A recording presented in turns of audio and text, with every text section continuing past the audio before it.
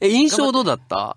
岡本さんの。うん。岡本さんの印象、やっぱりこう、あの、僕が言う、あの僕がなんか先輩に対して言うのもあれなんですけど、うん、すごく上から目線で俺が。やっぱこう、人懐っこくて、可愛いなって。マジかよ お前の方が可愛いぞ。あありがとうございます。